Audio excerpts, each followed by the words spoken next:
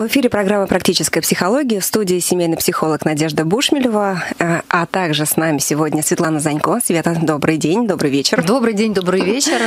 Мы так договорились в начале программы, что будем, видимо, так здороваться в связи с тем, что мне программа нравится. выходит и днем, и вечером. Да, мне нравится. Хорошо звучит. А сегодня у нас приглашен, я думаю, по просьбе многих да, наших слушателей, мужчина, психолог. Сегодня у нас экспертом а, нашей программы, название которой является «Измена», является директор директор Центра кризисной психологии «Два крыла» Скобелкин Артем. Артем, здравствуйте. Здравствуйте, здравствуйте, Светлана, здравствуйте, Надежда, здравствуйте, все слушатели.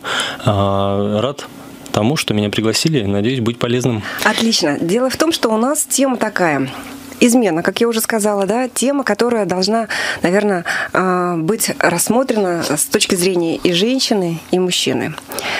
А, готовы? Можно я, можно я прям преамбулу твою зачитаю? Настя? Да, давайте. Потому что Надежда всегда в Фейсбуке а, а, закидывает в Фейсбук удочку, да, в преддверии программы. И вот эта тема вызвала просто ну, такую полемику. Можно читать там целый вечер, что понаписали люди, и вполне, вполне известные люди с хорошим жизненным уже опытом. А Надя спрашивала, вы когда-нибудь изменяли? Изменяли ли вам? Как вам кажется, в какой роли быть легче? Того, кто изменил, или и, и жертвовали это тогда, да, а, или кому изменили. А, как жить после измены, есть ли жизнь после нее, да, есть ли жизнь на Марсе, нет ли жизни на Марсе. Вот и мнения, которые в Фейсбуке а, там выскакивают, я сегодня буду периодически, периодически да? зачитывать. Отлично. Ну, сначала, наверное, определимся сразу, да, Артем, что такое измена, о чем мы сегодня будем говорить? Да, конечно, это необходимо сделать, так как измена, даже одно слово в нашей теме вызвало такое такое большое количество разных откликов. комментариев, откликов. А если перефразировать классика, да, то измена, сколько в этом слове для сердца вообще человеческого слилось. Боли. Потому что мы проживаем жизнь. И вот это одно из основных травмирующих событий, которое только может быть в жизни человека оно травмирует больше всего. Неважно, мужчина или женщина, но вместе с этим и мужчина, и женщина воспринимают это по-разному. Я предлагаю сегодняшнюю тему и вообще слово «измена» трактовать пока только с физической стороны. Да, конечно же, мы будем смотреть с вами сегодня физика, но, как вы понимаете, физика вытекает потом еще и в психологию. Конечно, так как это мы говорим про физический, угу. но здесь именно больше это всего, конечно, психологического, эмоционального в этом всем физическом. Угу. Мы берем физическое только потому, что это измеримо и понятно. Хорошо, вот смотрите, смотрите, немного статистики, но без э, цифр. Хорошо? Значит, э, Интересно. Э, да. Только психолог так может. Мы так можем. Я буду такими категориями, как, например, больше меньше. Да? Э, вчера специально прям погрузилась в эту тему. Последние исследования провели в Европе. Но если мы с вами Россия, часть Европы, то мы можем так немножко да, присоседиться На к европейской части Российской Федерации. Да. Тем не менее, э, есть такие данные, что мужчина изменяет чаще, чем женщина. Ну, вы можете с вами поспорить. Действительно для вас новость? Я вот теперь не знаю на самом деле. Судя по комментариям в Фейсбуке, все может быть. Далее, а, для того, чтобы а, принятие решения э, изменить мужчине для женщины, кроме физики, нужно еще и какая-то химическая составляющая. Это состояние каких-то там эмоциональных привязок, там каких-то да, переживаний таких. Для мужчины нет. Для мужчины очень легко и просто физика — это физика. Все. И дальше мы идем. И, это и... по выводам ученых да, европейских. Да, это по опросу, mm по опросу э, как раз вот э, тех самых респондентов, которые говорят, что да, в принципе. И что еще э, немаловажно, когда я вчера читала вот эти статьи, я поняла, что чаще всего э, чувство вины особенно сильно воспринимается женщиной, если женщина изменила. Мужчина такое чувство вины чувств, да, испытывает, да, но он не очень сильно с этим грузом долго идет он этот груз легко может предложить на кого-нибудь. Да, ну, более, наверное, подробно, потому что вы сталкивались, я думаю, с этим в жизни, да, клиенты у вас Мы, были? да, ну это постоянная угу. практика, когда человек обращается с такой ситуацией, с такой проблемой, и, наверное, э, как мужчине-психологу, мне приходят мужчины-клиенты, которые готовы доверить то, что не готовы доверить психологу женщине, опасаясь, что его будут осуждать. Угу.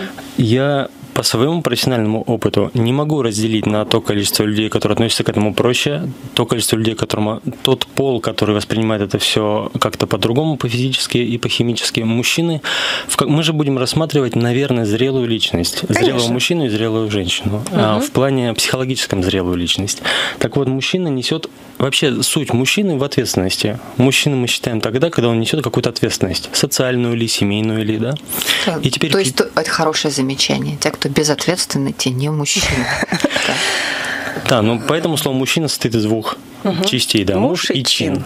Если он не несет ответственности, то он еще юноша не подросший до того момента, когда он может нести ответственность. То Для есть, чего я все это говорю? То есть мы, мы можем сейчас с вами сразу же понимать, да, что и в 50 лет может быть юноша.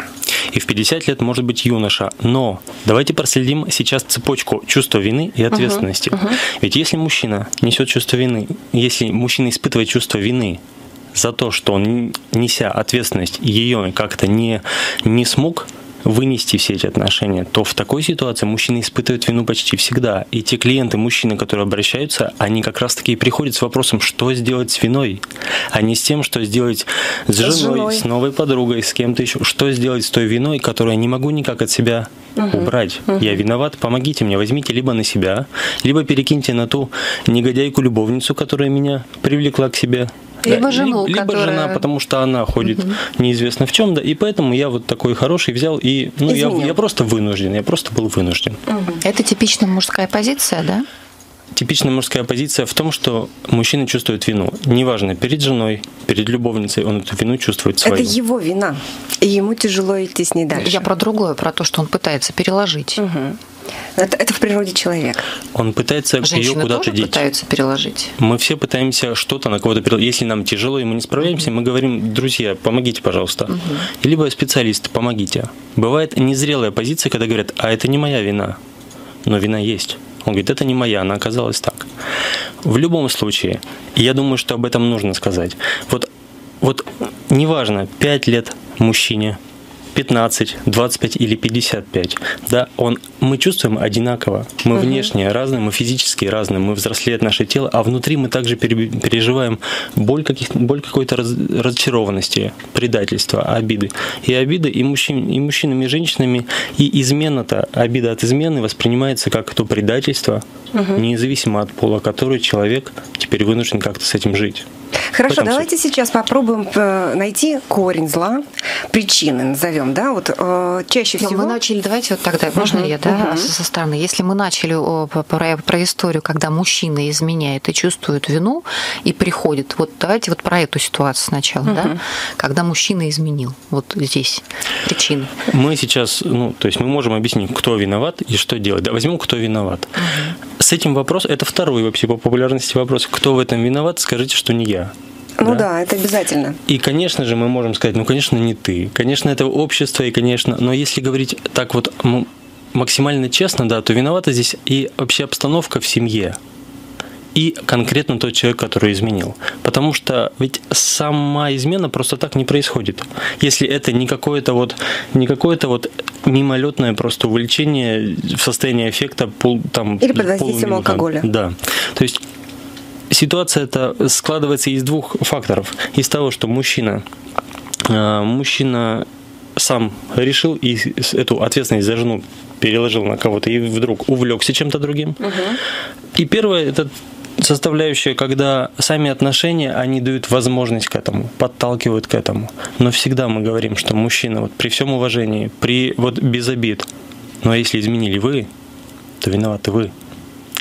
Вот просто чисто профессионально и вот так. Виноваты вы несете ответственность, потому что то, что вы сделали, это действие, а вы носитель этого действия, и вы творец этого действия. Вы это сделали. Хорошо звучит, да, Света?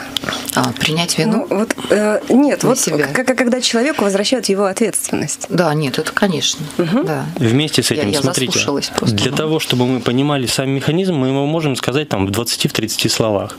Суть в чем? В чем вина мужчины? Да? Если ему говорят, что он виноват, или женщине говорят, что она виновата, то если она не понимает, и он не понимает, в чем виноват, то тогда эта вина, она такая, как это излишняя, непонятная, навязанная кем-то. Надуманная. Надуманная кем-то. Мы Бывает так, что люди, они не готовы вступать в брак независимо от их решения. Ну просто не готовы. Нет ответственности, нет устремленности дальше быть вместе. Uh-huh. Вот смотрите, как происходит. Дело в том, что когда мужчины и женщины встречаются, у них разные цели, разные задачи в обществе вообще. И женщина, она ну, должна быть, не должна, она стремится быть привлекательной. Если у нее нет ее защитника, нет мужчины, с которым будет с ней, она стремится быть привлекательной. Для того, так, чтобы что привлечь... это значит, как только он появляется? Нет, смотрите, тут, сейчас дальше нам Артем да, расскажет. В дело, да. что тут она... очень важно, да, женщина, первый, первый самый пусковой механизм, да, это когда женщина привлекательна, она к себе привлечет того самого мужчину. Ага. А да, дальше? Она готова для того, чтобы рыцарь в ее жизни появился. Посмотрите на улицу, посмотрите, послушайте бабушек, которые предъявляют претензии молодому поколению. Они говорят, чрезмерно привлекательные девчушки ходят, да? Смысл в чем? В том, что девушка, когда она себе привлекла своего рыцаря, она автоматически в голове и в своем поведении может перестать быть привлекательной для всех и стать привлекательной только для своего рыцаря, а для других стать красивой, замечательной девушкой Женщина и или девушкой? Не Коро... все девушки так делают. Не все но так это делают, ладно. да? Угу. А у мужчины какая задача? Давайте подумаем вместе. Так как он уже привлекся, и все, они уже встретились, он вот это вот свой поиск Wi-Fi своего, да, он должен отключить. Теперь он уже не должен искать, кому привлечься больше. Но мы же говорим о том, что есть люди, которые не могут отключить этот Wi-Fi, они кажется, вот она меня привлекла, и он пошел за ней. Так. И об, о таких мужчинах говорят, за каждой юбкой. Угу. Его вина в том, что у него дома есть кто-то, или где-то есть кто-то, та, угу. которого привлекла, и он к ним привлекся, но он это как бы упускает на время из виду, говорят, ну ничего, и тут еще красивее, тут еще лучше, тут еще моложе. Яблоки слаще. Яблоки слаще, да. У соседа. Хорошо.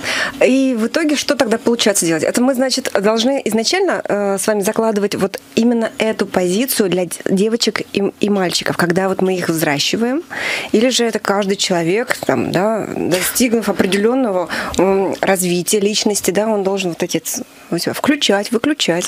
По крайней мере, люди должны об этом вообще знать. Угу. Ну, есть здесь и не то чтобы вина, а те обстоятельства в обществе, которые нас к этому подталкивают. Потому что, если вы замечаете, то любая реклама для того, чтобы привлечь ну, календари для строителей. Угу. Видели ли вы когда-нибудь? Календари для сотрудников... Ну, для а, календарь, стро... а календарь для Путина видели? Нет. Там очень много красивых девушек, да? Вот. В чем смысл? Привлечь через привлекательных женщин, привлечь к, своей, к своему товару. И мужчина, он, как бы он не хотел выключить свой Wi-Fi, если он не силен, не может сконтролировать себя, если его, его самоконтроль слаб, то тогда он привлекателен угу. привлекаем При, и бегает вот так вот угу, туда-сюда. Угу. Да. Хорошо, Артем, э, все ясно, понятно, да? Мне вот, не все. Не все. Можно я да, спрошу? Конечно. Да, конечно. Потому что я так и не поняла, что происходит, что вы говорите этим мужчинам, которые к вам приходят э, с чувством вины от э, совершенной ими измены, после того, как вы там ставите их перед фактом, что вина-то его. Дальше что происходит? Вот поставить человека перед фактом, это дать ему тот, а, тот его какой-то неправильный поступок и сказать, живи с ним. Нет, мы приходим к тому, что он сам говорит об этом. Но ведь вот в случае из практики, да, мы приводим те примеры, когда клиент сам разрешает говорить об этом. А, приходит человек, который говорит, вот такой он размашистой такой походкой, заходит, плюхается буквально в кресло и говорит, как мне сказать жене, что я ее изменил? А, то есть есть необходимость все-таки открыться. И вот мы спрашиваем, а для чего? Угу. Какой конкретный посыл? Для чего? Ну, мы же с ней доверяем друг другу. Я же ей обещал, что я все расскажу. И я его спрашиваю, а что будет, если когда вы расскажете? Ну, она примет решение. И какое? Спрашиваю я. Она говорит, ну, у нас двое детей, ну, наверное, ну, пусть знает все равно. Должна знать, что я один буду с этой виной ходить. И вот в этой ситуации я делаю профессиональный такой шаг, когда понимаешь, что наши отношения с ним личные, человеческие, могут сейчас быть Конфликт. Пош... да, в конфликте. Я ему говорю, вам нельзя пока говорить ей. Он Уж говорит, слишком сильно как? ты счастлив. Как нельзя, да, о том, что пожуй лимончику, да. Слишком ты сильно счастлив. А он говорит, а когда я могу это рассказать? Давайте подумаем, когда он может рассказать? Тогда, когда он уже пять лет будет с этим ходить, с ощущением вины, когда он похудеет весь, побледнеет, позеленеет, и она его спросит, спросит, дорогой, что с тобой происходит? А он скажет, я не могу тебе сказать, милая. А потом он скажет, знаешь, пять лет назад я поцеловал другую девушку. То есть вот так вот бежать э, с порога после бурной ночи к жене с цветами и говорить, прости, любимая, я тебе изменил, но и люблю я тебя, и только тебя, а нельзя. Да, в а таком а вот случае... Есть очень хорошая фраза, да, ты хочешь освободиться от вины, mm-hmm. да, но ты подумай, что будет испытывать твоя вторая половинка. Ну, действительно, помните же, да, из «Кавказской пленницы», что грехи нужно смывать кровью. Так вот, вину нужно исполнять как-то, ее исполнять именно своим раскаянием, если действительно человек в этом раскаивается.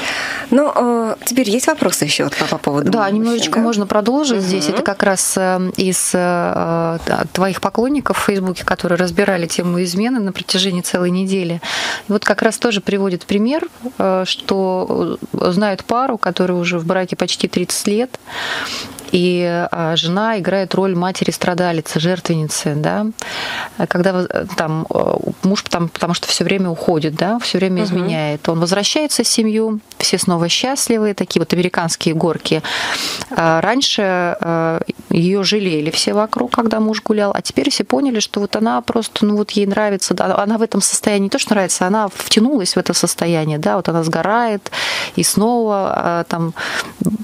воспарит, когда он придет. Такие случаи тоже бывают. Давайте будем так еще говорить, да. Мы всегда с вами должны четко понимать, что если мы занимаем роль жертвы, тот, про которую говорим, да, то всегда есть вторичные выгоды. Об этом я и хотел сказать. Давайте подумаем, какая здесь вторичная выгода. Какая здесь вторичная Вот выгода? Сейчас, когда вы говорили о том, что и вдруг все поняли, это вторичная выгода, она вот сейчас уже под угрозой, потому что все же говорят, ну, ну сколько, ну сколько можно вообще терпеть. А вторичная выгода проявляется в том, что она, а, ее, во-первых, жалеют, и, конечно же, понимают, что она страдалица, ей нужно помочь. Если не, если не как-то материально, то морально, психологически. И когда мы Поддержать. говорим, да, о психологическом вампиризме определенном, да, конечно же, в кавычках, то не нужно упускать из внимания и психологическое донорство, когда человек изначально отдает, отдает се- всего себя для какой-то вторичной выгоды. Здесь же, возвращаясь к вопросу измены, мы можем сказать, и я не то чтобы выступаю в защиту мужчин, но от лица мужчин могу сказать, что, по крайней мере, я заметил это в профессиональной деятельности, что мужчина может изменить не только жене, но он может изменить отношениям. И это не факт измены своего решения относительно жены, а относительно тех отношений, в которых он сейчас находится. А можно поподробнее об этом? Да, конечно. Говорят, что от хороших жен не уходят. Да, слышали не раз такое, да? Знаете ли вы какую-нибудь хорошую жену, от которой ушел муж? Есть такие примеры, да? Потому что дело не только в жене, а дело в тех отношениях, которые есть между нами. Проблема, основная проблема человеческих отношений в том, оказывается, мы каждый раз, входя в какие-то отношения, не являемся, будучи полностью к ним готовыми. И поэтому большинство кризисов, а у нас кризисный центр, и я кризисный психолог, мы рассматриваем любую ситуацию со, стороны кризиса, она, вы можете отследить, вот когда люди, они собираются жениться, но выбирают свадебное платье или выбирают место, тогда они могут поссориться. Когда они выбирают новую квартиру, когда они выбирают садик для ребенка, когда они, что они входят в отношения, к которым не готовы и еще не знают, у них нет тех стилей поведения, которые есть. Так вот, в семейной жизни таких как минимум три как минимум. И уровни отношений как минимум три между мужчиной и женщиной. Вот если мы по этим уровням отследим, то будет понятно, что и кому налаживать. А давайте про три уровня подробнее. Конечно. А, Когда мужчина и женщина встречаются, неважно, 15 им лет, 25 или, Или в 35 30. они встретились, да, они друг к другу относятся как мужчина и женщина. И тогда начинаются серенады под окнами, начинаются конфеты, прогулки по Александровскому саду и фраза о том, смотри, какой замечательный у нас мост, да, о том, какая красота вокруг. Когда они это изживают, и мужчина понимает, что он хочет не только провожать до дома и с утра встречать, а хочет и просыпаться вместе, и быть вместе. И тогда он тогда отношения переходят на уровень, когда он готов взять еще больше ответственность. Он говорит, давай будем мужем и, И женой. женой. Мужчина говорит, будем мужем и женой, потому что он берет ответственность. Жен- женщина понимает, что он готов взять на нее ответственность, он вынесет всю эту А ответственность. если, а если женщина говорит в паре, ну когда же ты наконец мне сделаешь предложение? Мы уже там 6 лет с тобой ходим за ручку по этому Александровскому саду. об этом скажем. А, вот эти отношения, они переходят на уровень мужа и жены. И тогда это уже другой уровень отношений. И там другой уровень ответственности. И там уже начинаются квитанции об оплате садика, там начинаются, кто будет выносить мусор, кто будет покупать кефир, и кто не может никак вызвать ремонтника, который там, да, и кто пойдет к соседям жаловаться. А третий уровень отношений – это уровень отношения мамы и папы, когда они воспитывают собственного ребенка. Так вот, проблема заключается в том, что иногда мы перешагиваем, не оставаясь на уровне мужчины и женщины, а перешагиваем в мама, э, в мама и папа или, допустим, в муж и жена. Мужчина, приходя с работы, он же приходит мужчина к своей женщине, правильно? А, его встречает мама а разъяренная. Мама и говорит, ты купил кефир? Угу. Ты купил это, почему ты не купил? Или, Или жена, почему жена? квитанция не оплачена? Но то же самое может быть и наоборот, угу. правда реже. Угу. И мужчина-то говорит, а где та прекрасная фея, с которой я познакомился в институте. И она ему говорит, давай поменьше разговоров и побольше этой самой практики, да, Дел. пожалуйста, вот тебе магазин, угу. вот тебе пакет, угу. вот тебе гвоздь, вот тебе картина. И мужчина оказывается не готов ко всему этому, да? Он не то чтобы оказывается не готов, он оказывается не удовлетворен. Угу. Его потребность в том, чтобы... Вот смотрите, мать вот, вот ту группы... фею ему надо все равно, чтобы она присутствовала в его жизни, да? Конечно. И если ее нет в реальности, вот в этих отношениях, то этих фей он начнет искать Та принцесса, которая смотрит из своей темницы на него, как на рыцаря, который спасет, вот угу. этого нет. Угу. А где это есть? Это есть в тех привлекательных девушках, которые, которые у него вокруг. ходят вокруг его работы и привлекают к себе других угу. юношей. И вдруг он понимает, что не на той женился. И он говорит, такая семейная жизнь меня не устраивает. И поэтому я готов к изменам. Что прямо так и говорит? Ну, конечно, нет. Конечно, нет. Но внутренне его маятник начинает раскачиваться из стороны в сторону. И вот это вот измена отношениям. И когда мы только рассматриваем, а кто виноват? Жена виновата или кто-то? Это было бы слишком однобоко. Потому что большинство советов, которые не профессиональные, но такие действенные, да, о том, что начните вдруг, начните за собой следить, начните плакать в подушку, но мужу никогда не говорите, это, конечно же, не то, да нужно налаживать уровень мужчины и женщины в этих отношениях, но так, чтобы это было экологично и гармонично для обоих. Угу. И к тому же, чтобы еще не хромали такие роли, как жена, а, мать и муж и отец, да? Потому что эти роли тоже приходится отыгрывать современному человеку по полной программе. Мы с вами это прекрасно понимаем. Но люди восточные считают, что одна из трудностей нашей современной культуры в том, что женщины для выхода на улицу красятся и накрашиваются больше, то есть приводят себя в порядок гораздо больше, чем дома. То есть социуму нам хочется нравиться, а вот мужчине, который рядом с нами. Хорошо, а тогда если мы с вами развернем в сторону о, женщины, мужчина. Э, почему тогда женщин? Да, какие причины у женщины на, на такой решительный шаг, как, например, изменить своему мужу?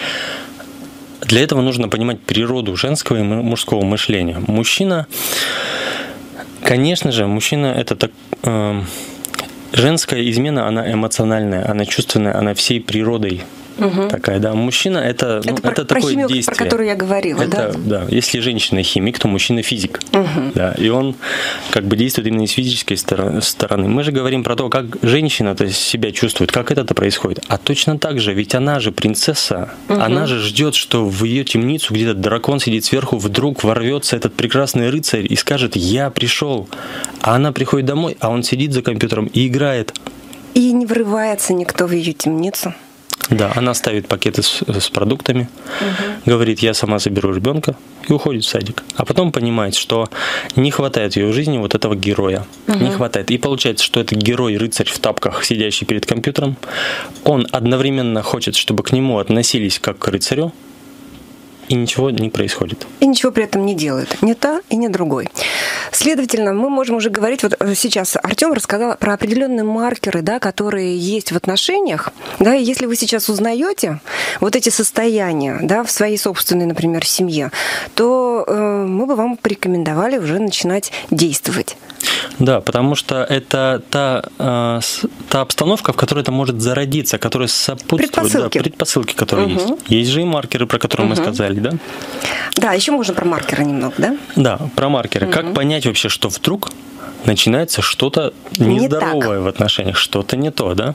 Вот жили-жили 15 лет. Вроде бы все было ну, кто 15, кто да, 3. Кто 3. Давайте мы на примерах о том, угу. что вот сидит мужчина за компьютером, и вдруг ему нужно сходить в магазин. Он берет, гладко бреется, ага. одевает свой самый лучший костюм, который у него есть свадебный, и есть вот этот самый лучший. Он одевает его и пошел в магазин. То есть вдруг он начинает, знаете, как самцы этих птиц. Ага, да, он начинает перья. распускать свои перья угу. безосновательно, угу. считает женщина. Куда да. это ты собрался? А, а женщина, женщина спрашивает, милый, ты куда? А он говорит, ну слушай, это единственный костюм, который постиран.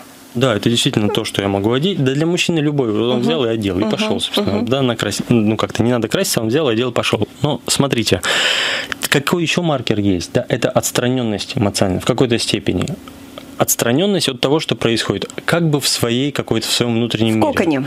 В коконе. Угу. Потому что помните эту фразу про то, что ага, пересолил или переселил, значит влюбилась. Почему? Угу. Да потому что тут он его здесь нет, он в другой вообще обстановке находится. Он угу. вспоминает или он наоборот думает, как это будет дальше все происходить. Есть еще одна предпосылка, когда вдруг отношениях, даже ну, в каждых отношениях есть те вещи, которые мы должны, над которыми трудиться, трудности то вдруг эти трудности отходят на задний план, и все становится хорошо. То есть такая, да, псевдо э, обман, обманное такое состояние, что у нас все в нашей с тобой семье, все гладко, тишь и благодать, да? Вот, и я сейчас попробую на тех вот трех уровнях это все рассказать, угу, чтобы угу. наши слушательницы женщины и слушатели мужчины, мужчины понимали, что к чему здесь вообще происходит, и как да, это все можно все раскрутить.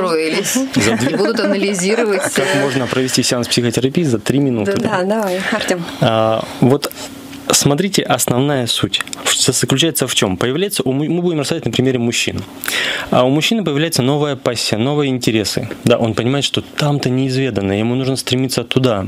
И он, вот если мы говорим три трети отношений, первая uh-huh. треть это отношения мужчина-женщина, вторая это муж и жена, а третья это родители. мама и папа, да, родители, то там у него, когда в семье мужчина и женщина начинают прихрамывать, он находит это рыцарство в других отношениях. Uh-huh. И в семье у него остается две трети, а на стороне одна треть. Та женщина, которая находится с этим мужчиной, она же тоже женщина. И рано или поздно, чаще рано, она говорит, а когда же ты возьмешь на себя ответственность? И вот эти шесть лет мы с тобой ходим по Лисаларскому саду по ночам. Где? Где, где результат? Где угу. колечко и где прочие вещи? И она понимает, что ну, как-то неравновесно это все происходит. Она на себя перетягивает. Мужчина получает в отношениях с ней все те чувства, эмоции, которые он должен получать от жены. И если раньше он предъявлял ей претензии о том, почему ты, почему ты мной не, не гордишься, почему ты не говоришь, какое замечательное, да, почему ты мной не восторгаешься, несмотря на то, что я в тапках за компьютером сижу, то здесь это перестает быть. Угу. И как бы этих проблем нет. И женщина, она, если она действительно загружена по уши вот этой всей домашней работы, она говорит, ну, слава богу, хотя бы тут вот у нас наладилось. Но это первый показатель того, что где-то это решается, значит, на, на стороне. На стороне. Вот. Вместе с этим эту же самую ситуацию можно очень легко развернуть и помочь сделать так, чтобы отношения снова стали гармоничными. Вот там, кстати, у нас в Фейсбуке, да, угу. есть мужчины, которые э, конкретно пишут о том, что вот а, если мужчина с женой все время занимается регулярно сексом, э, она то его все будет изнемож... хорошо. Да, весь прям до изнеможения, до изнеможения, угу. то значит все будет великолепно. Там женщины отвечают по этому поводу. Угу. Очень, очень тоже красочно. Когда мы говорим об ответственности, мы не всегда берем вопрос секса. Угу. Вообще вопрос близости какой-то. Мы говорим про близость духовную, близость душевную, потому что вот там, где принцесса и там, где рыцарь, там мы не, не, не говорим. А, угу. Конечно, угу. это само собой разумеется. Но вместе с этим те мужчины, представьте, вот под, подводники, да, те люди, которые уезжают на какие-то в горячие точки на полгода, на год, вот эти люди, которые улетают в космос или еще куда-то деваются на угу. как минимум на 6 месяцев, для них это бы оправданием не звучало. Угу. О том, что ну дома у меня тут ведь все равно никого нет. Мужчина способен это выдержать и вообще вот этот миф о том, что мужчине нужно каждодневно, подавай каждую неделю, это, это миф. очередной миф, который, к сожалению, имеет свою вторую выгоду, угу. вторичную выгоду. Угу. И, угу. разумеется, и проталкивается теми, у кого есть вторичная выгода. Мы даже знаем, что это, это значит. Я не поняла. Ну, мужчины проталкивают свои собственные интересы.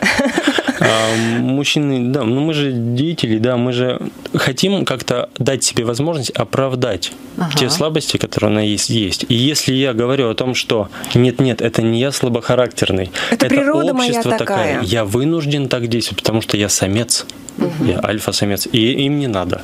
А раз там нет, то значит я где-то это возьму. Я же победитель по жизни. Ну, вот здесь мы бы с ним могли поспорить, да, потому что я сторонница. Э, мне нравится очень, кстати, вот э, с точки зрения э, Артема, я прям ее принимаю на все сто процентов, но там внутри, да, потому что я все-таки э, с медицинским образованием и очень много что изучалось, и, и да, э, и э, я опять-таки, как, как Артем сказал, ну, ты просто оправдываешь мужчин, вот их полигамность, понимаешь, да, но я считаю, что мужчины по природе своей полигамны. Да, вот я так считаю, ну, как бы это моя точка зрения, э, основанная там на, на физиологии, основанная там на палеонтологии, на многих... А на нельзя вот эту полигамность как-то до брака реализовать, как ты думаешь? Мне кажется, что Давайте можно. мы это обсудим. Да. Давайте прочим. мы это, да, обговорим, потому что мое образование тоже имеет в себе некоторое вкрапление медицинского угу. характера. Да, у меня медицинское образование есть, но я хотел бы здесь а, высказать свое, свою точку зрения по поводу полигамности. Давай. Дело в том, что постепенно современное понимание полигамности означает, что мужчинам можно, а женщинам нельзя. Угу. Нет, мне не нравится такая. Мое, мое видение, да. Мужчина, он должен, он может, у него, ему необходимо, да. В силу того, что он должен оставить, там, не знаю, большое количество детей после себя благодарных ему, да, или какие-то другие причины есть. Но, смотрите, а изначально полигамность это всего лишь то свойство, это такое свойство вида, создавать брак какой-то определенный, устойчивые отношения вместе. И не может быть с точки зрения психо- э, природы, угу. чтобы внутри одного вида один пол был полигамен, а другой моногамен, потому что изначально этот вид обречен будет на вымирание. Вымирание? И тогда получается, что мы говорим только о сексуальной полигамности, о том, что мужчина ну просто вынужден, в нем есть это стремление. А знаете, какое стремление есть в мужчине? Какое? В мужчине много энергии, которую он должен куда-то выразить. Угу. Есть такое, такое слово, которое воспринимается иногда как, как ругательное, слово сублимация. Угу. Это трансформация своей внутренней энергии во что-то положительное. Ну, например, в творчество. Если мужчина Бизнес. имеет угу. внутри много энергии, нереализованной, а трансформировать куда-то ее он не имеет возможности, то такой природный и всем понятный способ этой реализации – это отдать кому-то, особенно если это такой миф существует. Uh-huh, а uh-huh. миф о полигамности – это вот как раз то удобное, удобная версия, да, такая, которая может, реализации в своей мужской природы. Uh-huh. Да? И вместе с этим очень легко этот миф разбивается о практику. Если мужчина считает, что он полигамен, да, то тогда он Обычно у полигамных мужчин всегда есть где-то вот в прошлом его травмирующая история о том, что в его отношениях с девушкой она ему сказала «фи». Он сказал, ах так, ну тогда я полигамен. Да. И, и так всю оставшуюся жизнь, понимаешь, да? Потому что я тогда, мне однажды причинили боль, я буду эту боль причинять всем своим. Если мы будем говорить, да, чтобы было понятно, полигамность это стадо обезьян, которые бегают друг от друга одновременно и самки, э, и самки, и самцы, и делают, что попало, да? Когда-то это было в нашем, э, я думаю, в истории человечества, да? А вот... А, но вот то, что сейчас у нас уже общество, да, и поэтому мы с вами на эту полигамность теперь будем смотреть, как, как да, вы смотрите. А моногамность это две птички, сидящие в, в гнезде и выращивающие вот своих вот птенчиков. птенчиков которые... И мне очень тоже нравится эта картинка. Неразлучники? Ну, пусть будет. Я таких знаю, кстати говоря. Да, потому что, конечно же, человек биологическое существо, но это человек. В нас есть одновременно и социальное, есть одновременно и духовное, есть одновременно вот эта любовь. Вот все, что все, в чем отсутствует любовь, становится одновременно каким-то не то чтобы мерзким, но некрасивым. В нем не хватает в этом чего-то такого человеческого настоящего. А давайте я вас верну к своему вопросу а, по поводу того, что а, не реализовать бы свою полигамность до брака. А потому что вы знаете прекрасно, что когда европейская западная культура хлынула на весь Советский Союз, обрушилась э, со всей своей сексуальной революцией одной, второй, третьей, десятой, угу. то идеология того, что нужно до брака все познать и не один раз. Она тоже сюда пришла и, в общем, расслабила всех. Ну, попробовать и выбрать. И вроде бы она казалась логичной, ну, потому что, да, а, как, как говорится, чтобы наелся и больше не хотелось там сладкого, да, и вот эти поздние браки и прочее. Вот она себя оправдывает все-таки. Я, наверное, сейчас вызову на себя гнев многих. Я привлеку на себя гнев многих. Но я буду расценивать этот гнев Можно. как интерес угу, к этой теме. Угу. А, дело в том, что физическая близость – это не просто наслаждение, когда мы вместе поели, там, допустим, что-то в ресторане или вместе посмотрели фильм. Физическая близость имеет несколько уровней, и вообще любая ситуация, она имеет несколько уровней. Телесный, психологический, энергетический уровень. Почему восточные практики и вообще восточные э, те мудрецы, которых мы сейчас мы принято их везде цитировать. От, от запада к востоку, видите о мы, том, да? что на самом деле физическая близость – это принятая на себя мужчиной ответственность за женщину до конца ее и его дней. Обычно пауза, да, вот сейчас такая. Он, а при... он говорит, да? я беру угу. на себя. Так, так нужно, когда угу. философия угу. восточная идет, нужно то есть, если я, тебя, если, если я тебя подпускаю к себе так близко, да, то я беру за, за тебя ответственность на себя. Если ты меня подпускаешь к себе угу. так близко, я беру на себя твои кредиты, мои кредиты, твои проблемы, мои проблемы. Теперь ты за мужем, за мной. И поэтому физическая близость с женщиной для мужчины – это практически вот такая уже почти, он, они уже почти супруги. Это уже почти их союз. Одно целое. Одно целое, угу. да. И относиться к этому вот так, что, ну, надо наиграться. Есть такая песня о том, что неважно было сколько девушек там у тебя, все равно ты будешь счастлив только с одной, и имя у нее будет одно. И поэтому вот это вот точка зрения о том, что ты должен сначала всех попробовать, потом посмотреть, кто из них лучшая, и выбрать эту лучшую, она себя не оправдывает в жизни, потому что для нас лучший – это вот именно наш человек, с которым нам хорошо. Нам нужно только смочь его выбрать и быть с ним. Угу. И вот это путь выбора, да, это самый сложный путь героя. Да, да, потому где что, ты ходишь? Да, вечный вопрос. Да, где ты ходишь, да. И когда мы встретимся? Да, и э, с каким опытом ты ко мне придешь? Мне да? бы хотелось, да, о чем сказать. Вот смотрите, принцесса, которая сидит в темнице, вот этот образ, да, если она будет сидеть в темнице с телефоном и говорить, ай да не мешай мне, да, я тут вот вообще, то тогда этот рыцарь, он походит, походит и найдет другую темницу, пониже, но там, где ему будет вот эта коса да, на улице, которую девица ему будет улыбаться. Смысл-то в чем? В том, чтобы принцесса, в том, чтобы принцесса, она вот мужчину подталкивало к тому, чтобы он понял, что я готов быть рыцарем. Вот то это есть, постоянное взаимодействие. То есть подвиги, э, качество подвигов зависит от этой самой принцессы, да? Ну, мы сейчас с вами угу. немножечко ушли в другую сторону, угу. то есть мы уже Сказки, о поиске да. сейчас Сказки, говорим. Да. Нет, а про поиск говорим пары, а все-таки я вас верну в, в тему измены, и у нас просто не так много времени остается, несмотря на, на, на длительность нашей программы. Вот у меня очень волнует вопрос, есть ли жизнь после измены, как ты, Надь, поставила, можно ли прощать? Вот, и... и нужно ли прощать? Да, Артем. И вообще, возможно ли прощение? С точки зрения психолога мужчины, то это, для меня тоже это очень интересно. Получилось так, что я вот в этом вопросе услышал три очень глубоких и таких объемных вопроса, ответить на которые я тоже постараюсь как-то вот, ну, когда ты постараюсь ответить как-то, как получится. Я думаю, что вы согласитесь с тем, что измена – это предательство. Согла- да? Измена – это предательство. Измена – это пощечина. Неважно, мужчина сделал эту пощечину или женщина. Или женщина. Это пощечина, которую мы можем проглотить и сказать, что, ну, бывает. В некоторых семьях и сапогом бьют, да, допустим. А тут, ну, бывает, ну, ударил, подумаешь. И тогда женщина, она вынуждена терпеть, ее второй раз тогда пощечина, третий. И вот эта безнаказанность, она подталкивает к тому, что мужчина, он находит лучше ему решать это на стороне, а дома, да, дома у него жена, дома у него мама его детей, и там все хорошо. Или иногда они проговаривают, что да, вот так оно и есть, да, вот это твоя роль, это моя роль, мы ее играем для общества, да. да? А если она говорит, угу. ты мне сделал больно, угу. или ты мне сделала больно, и я на данный момент не могу тебе доверять, я вообще не могу сейчас быть с тобой, мне очень от этого больно, то тогда, если вот когда можно быть с человеком, когда он понял, что он причинил вред, и своим видом показал, что я не буду, ну, я больше поступками. Так, да, о том, что я раскаиваюсь. Угу. И тогда женщина имеет право не просто уйти в лес, там прокричаться, а домой вернуться улыбающейся и понять, что больше и бегуди одевать на себя не надо, да, и она во всем виновата. А она имеет право сказать, что я от тебя не отказываюсь. Но вместе с этим, если ты хочешь начать все заново, если ты действительно пришел вернуться, да, если действительно ты хочешь это все будет, то тогда давай заново. Заново серенады, заново Александровский сад, заново все это мы сделаем, и все будет хорошо. Из измену, а простите, это не самообман?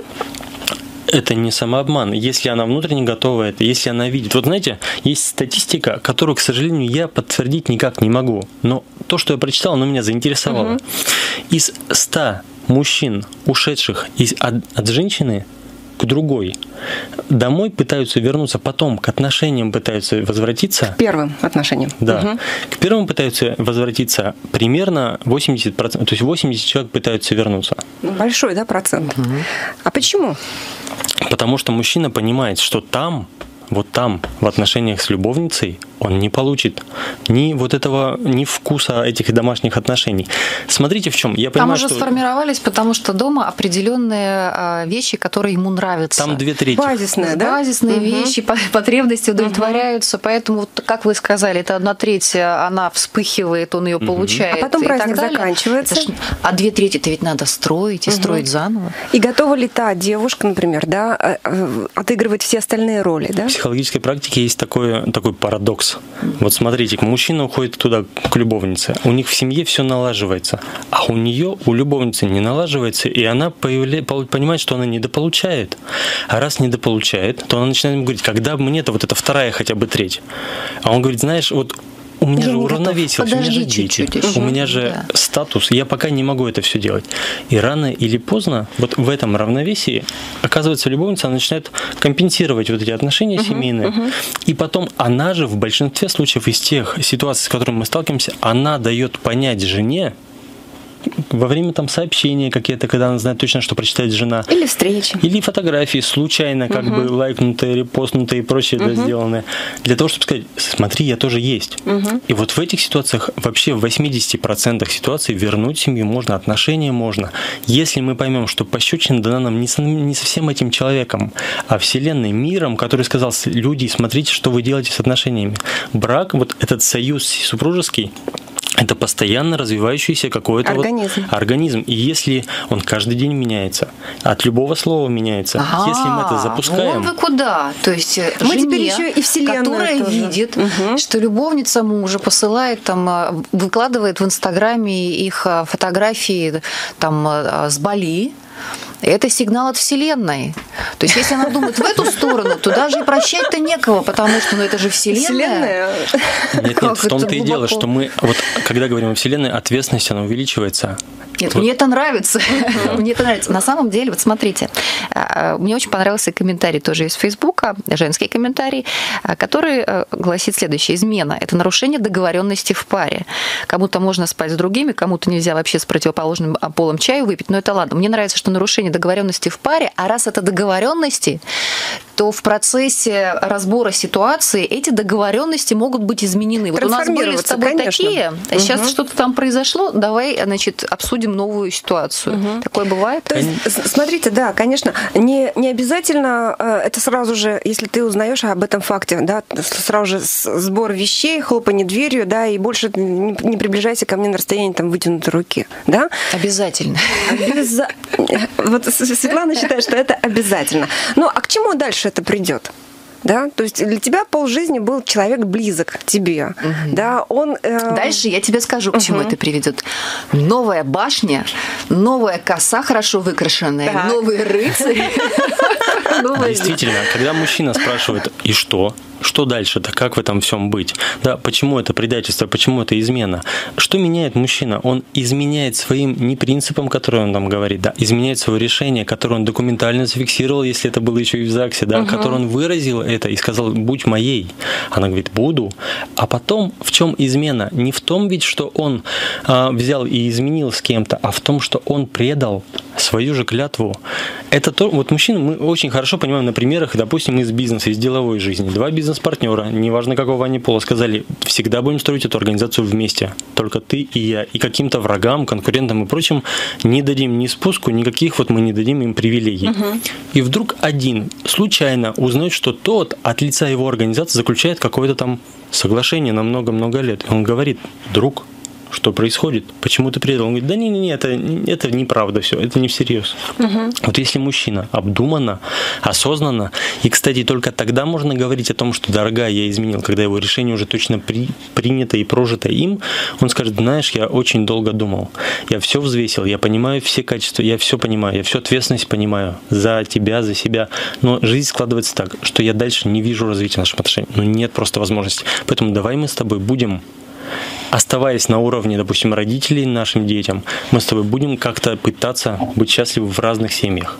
И он помогает, он не бросает ответственность за свою жену. Он не снимает себя, он говорит, я с тобой. Но вместе с этим я, я вижу счастье в другой. И вот есть ли жизнь после этого, Света?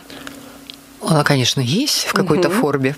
Да, но только ведь она выходила за того принца, да, этого угу. принца у нее уже забрали. Тут вопрос э, еще одной программы, это вопрос самодостаточности людей в браке. Насколько нужно растворяться друг в друге, насколько нужно осознавать угу. самого себя. Потому угу. что э, очевидно, что э, если там, женщина не мыслит себя без этого мужчина, а мужчина говорит, ну давай мы будем счастливы в разных браках, то он сохранил свою целостность, да, какую-то целостность. А она уже да, она не сможет. Да, но здесь вот как бы, это хороший вопрос, но, но, наверное, просто нам не хватит угу. времени, чтобы его сейчас а Давайте в минутку пытаюсь уложиться по поводу того, что вообще представляет собой союз, что представляет собой договоренность, и почему мужчины или женщины отказываются от этого. Давайте. А, когда мы говорим, что вот было бы неплохо, если брак, семья, это было бы такое свободное отношение, вот как гостевой. Я пришел, поел и ушел. Я против. Или что-то там, я пришел, поел, или я там, ну, то есть я свои какие-то обязательства, свою часть выполнил, твоя часть выполнил, и все, мы расписались в получении и разошлись. Это одно, но брак на самом деле он ограничивает, и нужно понимать, что Брак – это своеобразная духовная практика, это определенная аскеза для мужчины. Женщина ограничивает мужчину физически. Теперь ему нельзя ездить туда, куда он обычно ездил. Теперь ему не стоит вести себя так, как он обычно вел. И он, если он воспринимает это в штыки, как самоограничение, значит, он тогда ищет обходные пути. Но он должен понимать, что вот это физическое ограничение любимой женщины означает внутреннее раскрытие себя. То есть рост, да, внутренний свой. Если этого внутреннего роста не происходит, угу. то значит и Э, и ты не видит это как, как, как кандалы на, на своих ногах, руках и вообще на самом себе. Теперь мы понимаем, почему, в общем-то, современный мужчина не очень не торопится в брак, да? Есть определенные предпосылки общества, которые подталкивают мужчин изменять. Угу. И об этом нужно тоже говорить. Понимаете, если... А, теперь а, даже и общество теперь подталкивает уже мужчин изменять. Ну, в нем есть определенная структура. Угу. Понимаете, вот наши, наверное, родители и наши, ну, просто на, все, кто наши родственники, они привыкли вещи ремонтировать. Угу. Мы же привыкли ну, купить проще, чем ну, отремонтировать. Да. Вот, кстати, понимаете? там же в Фейсбуке написано, да, про, про, про детей. Вот у меня клиентка, например, она рассказывает. Я вообще на мужчин смотрю как на детей, которые вот играют, вот они с одной машинкой, да, играют, играют, наигрались с одной машинкой, да, или она там сломалась, да, и он тут уже смотрим, уже с другой машинкой играет, ему другую машинку купили, да, родители. И когда он рассматривает отношения не как серьезное обязательство, а как что-то, что мне дастся, да, угу. то тогда, когда это перестает ему устраивать, ему нужно что-то новое. Угу. И вот это уже качество незрелой личности, незрелого мужчины, когда его ответственность, она вот такая вот пф, угу. пустяшная. Угу. Вот вот как бы об этом, наверное. Но я хотел бы сказать женщинам, а, слушательницам о том, что действительно очень многое можно сделать для того, чтобы изменить отношение к лучшему, если мы согласимся с тем, что вся эта ситуация, она для чего-то произошла в таком вселенском глобальном масштабе, для того, чтобы мы поняли, что наш брак вот такими темпами и с таким уклоном, он уйдет в пропасть просто. Ну, наверное, самая первая рекомендация – это э, не держать это только в себе, да? То есть не переживать это внутри себя, да? Вот Вообще первая рекомендация так как угу. женщина это эмоция, угу. да, а мужчина это разум, угу. она может в присутствии мужа вести себя хоть как. Угу. Она может, эмо, знаете, говорят, эмоционировать. Да? Я не знаю, насколько это физически правильно. Она может делать хоть как. Ей больно. Она, кто ей причинил боль? Мужчина. Но ей запрещается делать три вещи. То есть нужно кинуть в него сковородкой в этой ситуации? Ну, чтобы так бессильно физических да? таких Вы меня, да, у меня сейчас конфликт ролей потому что да, да. я боюсь, ну то есть она может проявлять это так, чтобы это было, ну, чтобы никто не пострадал от этого вот так ну, вот потом... сильно. Да, Ладно, не, не сковородкой, хорошо, тонкой фарфоровой чашей. Первое, что не стоит делать, это рвать сразу же все, что есть. Угу. Ты негодяй, я тебя никогда не любила угу. и никогда не полюблю. Угу. Вот рвать. Такие страшные слова, которые мужчина однажды услышав, да, потом начинает сомневаться в себе и во всем вообще Второе, что не следует делать, не следует проклинать угу. его и проклинать. Мы не знаем, что там между и есть ли что-то, и не является ли вот эта вот выложенная фотография на угу. всеобщее обозрение всего, всего лишь игрой. Последним шансом угу. той девушки, угу. которую он не принимает и говорит, да ты что, у меня жена, у меня дети, я не могу. Угу. А третье, что не, не стоит делать, это пытаться мстить вот прям явно, именно ну, женщине. Мы вот... из классики с вами вспоминаем, да, когда травили своих собственных детей, там, да, Медеи, Но я же мужчина, здесь же есть практическая выгода, почему нельзя мстить. Вот смотрите, любовница, которая просит, когда же, когда же ты дашь мне колечко получше, чем у твоей жены. И жена, обозленная жена, и вот это вот не получившая от мужа, он же испытывает ответственность и за ту, и за, и другую. другую. И вдруг та же жена, которая и его-то немножечко ему не додает, да, он, она вырвала клок волос у его новой девушки, за которой и его вот этот маятник вины, он начинает вдруг быть виноватым уже не перед женой, за что может зацепиться Даже психолог. клок волос не дадут вырвать. Нет, не дадут. А он может испытывать и есть чувство вины перед этой любовницей, он может взять и вот эти две трети раз и перекинуть к ней. Все, и тогда уже... Вот так все зыбко. А как же? Желание причинить боль в ответ, оно же возникает. Возникает. Если предательство, если до глубины души. Кто а сделал пощечину, тот и должен получить. Муж. Да. Вы То сказали. Есть, вот эти моменты, Но да. Они лысые к этому времени. Вот эти моменты очень важны, потому что очень часто же бывает такое, что да, обиженная женщина, она начинает именно э, мстить или как-то досаждать вот именно той женщине, которая Это хороший, кстати, вопрос, может быть, мы доберемся до него, как э, именно женщинам выходить из этой ситуации? Как, как Вообще сегодня у нас программа, да, она мне очень нравится, что она раскрыта с точки зрения мужчины, угу. да. Поэтому я думаю, что э, не за горами будет программа, когда мы еще и поговорим о тех переживаниях, которые испытывают в процессе измены или же когда ей женщине изменили, да, тоже обязательно. Потому что вот то, что вы сегодня рассказали, для меня, например, это было очень ценно. Это, это было вот прямо э, так, такое открытие нового мира, мужского мира, да, хотя с некоторыми вещами я не соглашусь.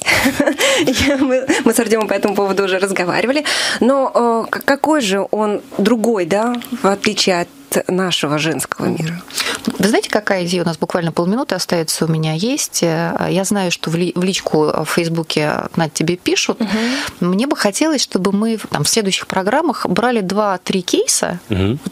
и разбирали их, ну, чтобы не, не только свое мнение там люди угу. высказывали, угу. а задавали конкретный вопрос. вопрос. Вот я так понимаю, что мы с Артемом еще будем встречаться. Да. Вот поэтому хотелось бы, чтобы вот были эти два-три кейса живых Которые вопросов можно прямо разобрать. Я с радостью, да, мы с радостью разберем.